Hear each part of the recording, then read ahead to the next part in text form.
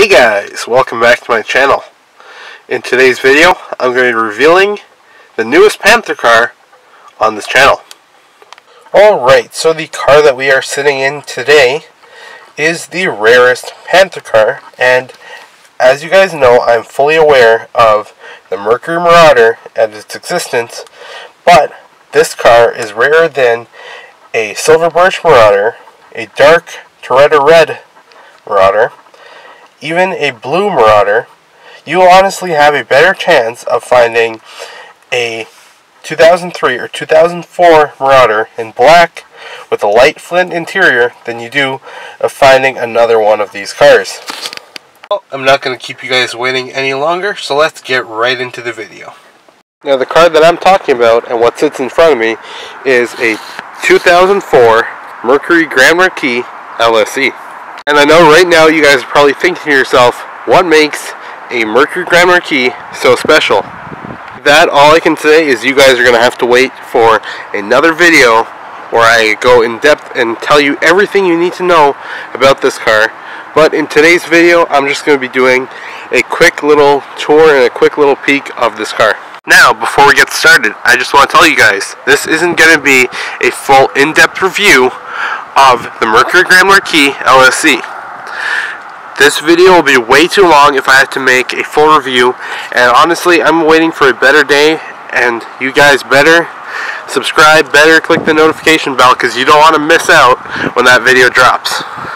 Now if you guys are into Panthers like me, you guys can already see a couple of the mods that have already been done to this car. And of course it's starting to rain right now, so I'm going to try to hurry up with this video. So if you guys spawn any of the mods, anything that's been done to the car, right now, go down in the comment section, tell me what you think has been changed and what we did already on this car. Now a few cool things that we do get with getting the LSE is the true dual exhaust off of a P71. Factory 327 limited slip rear end. Actually even get the exact suspension setup that is being used on a Mercury Marauder. The Marauderness doesn't end there as we have factory bucket seats and a floor shifter. I think one of the best things about this car is the fact that it is the most well kept secret of the Panther platform. Being that nobody really knows about this car, I haven't seen many posts about it, I haven't seen many people who actually have one of these cars. And like I said, these are the rarest cars you can get if you're looking for a Panther from the years of 2001 to 2005, which are the only years of one thing that makes this car extra special is the fact that it is a 2004 Mercury Grand Marquis LSE, and for 2004 they only made 167 cars, and all of them went to Canada and only Canada, with rumors of over 70% staying in Ontario. Now one other thing to note, not only do I have such a rare and unique Panther, I happen to have it in the rarest color and rarest trim package, the way that it's been ordered, out of all 2004 Grand Marquis LSEs. You're going for rare colors and unique colors. The colors that you want to buy is Arizona Beige. If you could find, once you guys hear the number, which I'll reveal in the next video, once you hear the number of how many besides this car, I would buy it right away, no matter what kind of condition it's in. It's worth it if you are a true Panther enthusiast like me. Otherwise, look out for, this is for 2001 to 2005. You're going to want black. Surprisingly, black wasn't a big option because remember, a lot of people that bought this, even though it's the LX Sport or pre-Marauder of the Panther platform, well, and the LX Sport of the Grand Marquis, it's still primarily older people as they go in asking for a Grand Marquis, whereas the average younger person might not, well, even though the whole idea of the LX Sport, you guys know, was made up by dealerships in states saying that it did not sell very well, so they wanted younger people to buy it, so they decided to make it sportier, put limited slip rear end in it, a four shifter, as well as bucket seats, and think that it would actually sell quicker. However, that was not really the case, and it was still primarily older people who had actually bought these. Colors to look out for Arizona Beige, number one. Black. Spruce Green Metallic. As well as the red, there was two reds. They did have Matador Red and they had Dark Toreador Red and Dark Blue Pearl, which is a Marauder color, but it did come on the Grand Marquis as well. As far as modding this car, you guys know with the Crown Vic I did interior swaps, I did some performance mods, I did a lot of different things to it. This car is going to stay pretty much stock mostly stock. There will be performance mods, there will be some appearance mods, but I would say about 30 to 40% done as to where this car is going to be. You can already see that I do have the wheels on it. I do actually have a different grille to go on it, as well as a special set of headlights that I made. I started tinting the windows, so I have a sun strip on. I'm going to be doing 5% tints all the way around. Um, the rear end, you can see, was converted from the Grand Marquis rear end to the Crown Vic rear end because if you ask me, the Crown Vic rear end looks a lot better than the Grand Marquis, especially when here was just that bright, bright, uh, bright red reflector that really did nothing, just looked incredibly ugly if you ask me. Um, otherwise, the rear bumper needs changing, and we put the lights in from the Impala. That wasn't really my choice, but figured it kind of looked funny, so. Otherwise, what we're going to be doing, we're going to be lowering it. So my goal is to lower it about 2 inches to close the fender gap. Hence why I bought lower profile tires. The tires on it are 245, 45, 17s, I believe. Actually, I think the backs might be 245s, the fronts are 235s. They are staggered, if I remember correctly. And um, what we're going to be doing is lowering it, like I said, to close the fender gap. Now, ideally, the best way that you can lower these cars is coilovers. And I like that just because they're adjustable. So if I went back to this height of stock ride height, I could do it in a matter of, I don't know, half an hour. If I wanted it back lower for whatever reason, I want to lower it for maybe taking out a track, making like going to a car show or something just for looks, whatever the hell I want to do it for, I can do it in no time at all.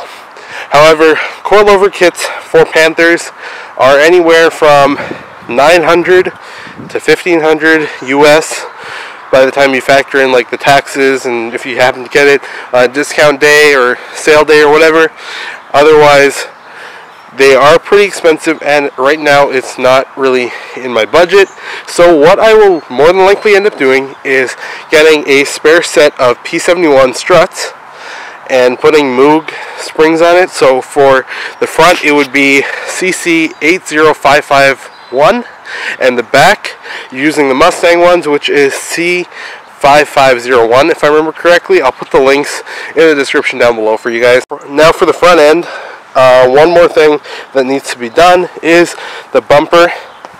I actually have an idea for something that I do want to try, something I've been eyeing for a long time since I got the Crown Vic and I figured might as well go ahead and give it a shot for this one. So I'm going to be, I'm not going to tell you guys what I'm going to be doing, but I'm installing that as well as a lip spoiler, which I'm not sure if I'll do the traditional, like everyone else is using the Mach 1 chin spoilers. They are really nice, however, I want to be a little bit different from everyone else. So I was thinking of doing the garden edging, but that's also fairly common, so I might just have to think of something completely different, completely unique, and maybe start a new trend with these. So, as for the interior, you can see it's basically identical to a Crown Vic or Grand Marquis. Obviously, you guys know for the Panthers, I believe from 1992 or 1990 something in the 90s. It could be, it's either going to be 92 or 98. The dashboard is identical in every single one of these cars. Everything like the trim pieces, the whole dashboard could come out and go into one of the other years. The door panels, it's an 04, so obviously has the 03 plus door panels with the nicer, these are the nicer looking ones in my opinion. I don't like the other ones. The shape of it just looks too, I don't know, it just looks very, very dated and um, I really don't like, I don't, I really don't care for it you can see, real, realistically, this is the main part of the car that everyone wants it for. the floor shifter. And it is a true LSE. It does not have a hole for a shifter here. I did not change the whole column. This is a true LSE. Even the cluster shows that it's a true LSE. Now the interior normally is a little bit cleaner, but I actually do drive this car. We actually use it. It's not just a showpiece.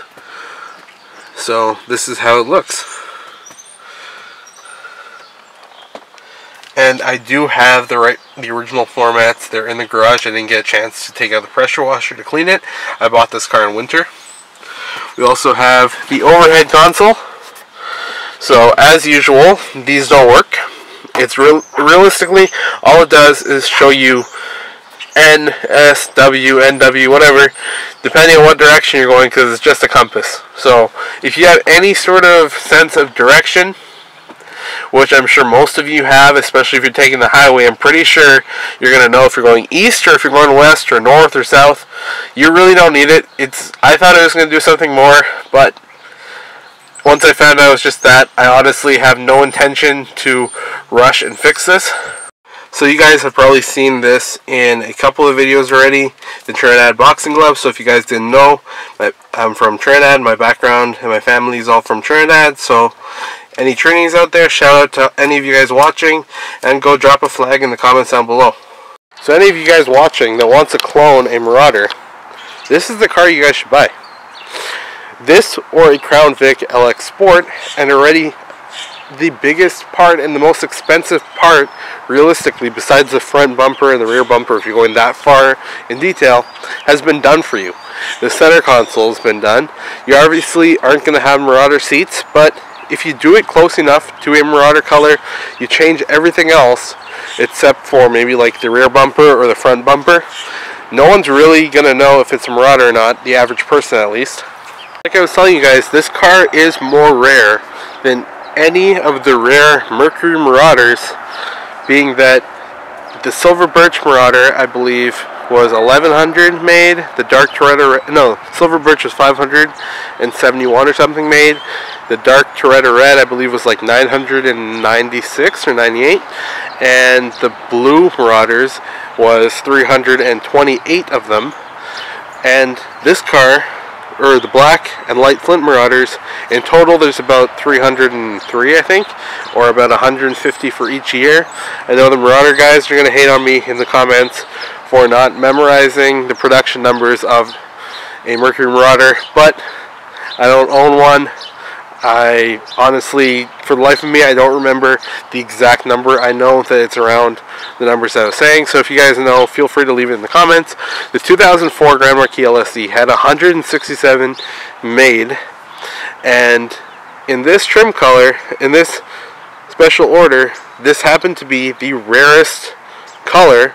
As well as this car being fully optioned with everything but sunroof, and heated seats, which, to be honest, I have yet to find a 2004 Mercury Grand Marquis LSE with a sunroof and heated seats. So, this is the interior from the passenger side, and this car is in near mid, near pristine condition, aside from a few minor things. But being that this car has over 211,000 kilometers, and it is 18 years, well actually 19 years old because this car was made in 2003 and sold probably in 2003 by the way that it was ordered at the time that it was ordered and produced. It is in very, very, very, very good shape for its age. Anyways guys, I hope you enjoyed that quick little tour slash peek of my 2004 Grand Marquis LSE. Don't forget to subscribe to the channel. Click the notification bell so you don't miss out on any future uploads. You really don't want to miss out on the build on this car. It's going to look so great once it's all done. I can't wait to see this car all put together and finally have it the way I want to see it. Anyways guys, I'll catch you guys in the next video. I'm going to go edit this video. Today's Friday. My goal is to get it up for you guys tomorrow, Saturday. Uh, so, Saturday, April 9th, I'm hoping to get this up for you guys. I'll catch you guys in the next video.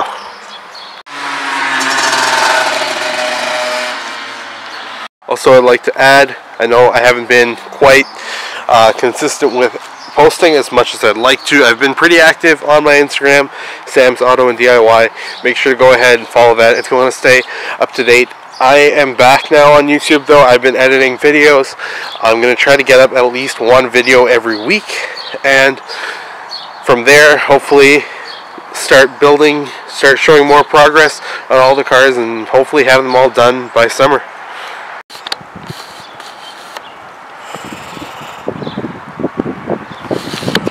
So here we have the Crown Vic and the Grand Marquis together. Probably won't have it really together for the rest of this video.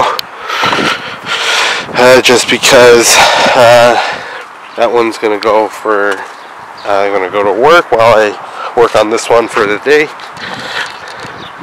and film this video, the rest of it at least.